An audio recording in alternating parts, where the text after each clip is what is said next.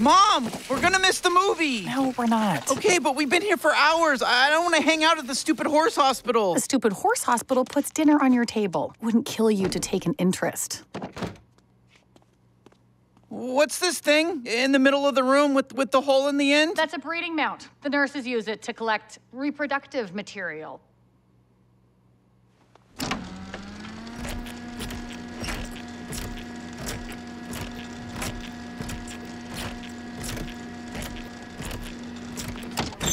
Okay, let's go see this latest piece of Marvel shit you kids are jizzing over. Yeah, uh, about time. So, d- does your hospital ever need, like, after school volunteers? Wow, who are you and where did you put my son?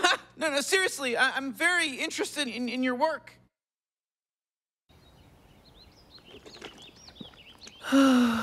Morty, you dirty little doggy.